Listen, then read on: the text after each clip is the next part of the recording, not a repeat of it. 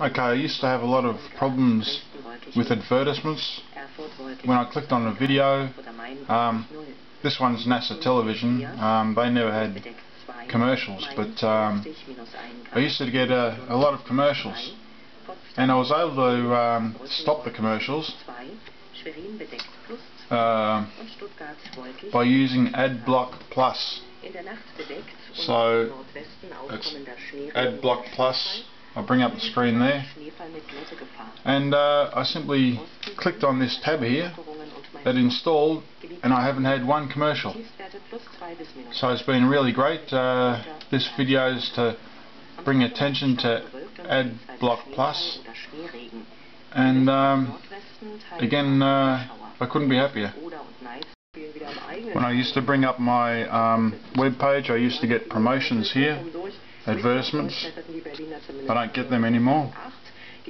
Listening to foreigner music, um, I used to get advertisements all the time, but uh, what happens now is I'll click on this song here, and you can see there, it says block. I don't know if you can see that, it says block, and it just starts to play the video.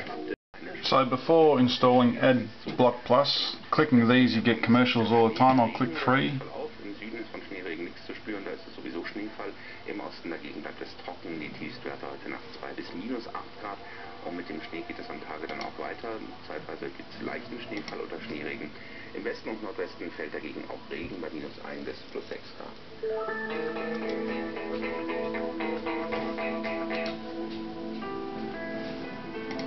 Halbzeit ist beim Weltklimagipfel in Doha. Von Einigungswillen ist derzeit allerdings noch wenig zu So AdBlock Plus is one of those very few things uh, that work absolutely seamlessly.